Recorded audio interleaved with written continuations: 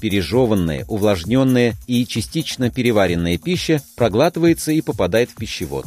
Глотание представляет собой сложно координированный рефлекторный акт, в котором участвуют многие мышцы полости рта, глотки и начала пищевода.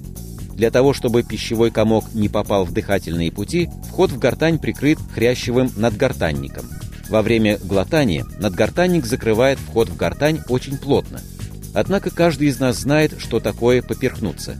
Если пища попадает в дыхательные пути, возникает сильный кашлевый рефлекс, направленный на удаление из них инородных частиц. Это защитная реакция организма.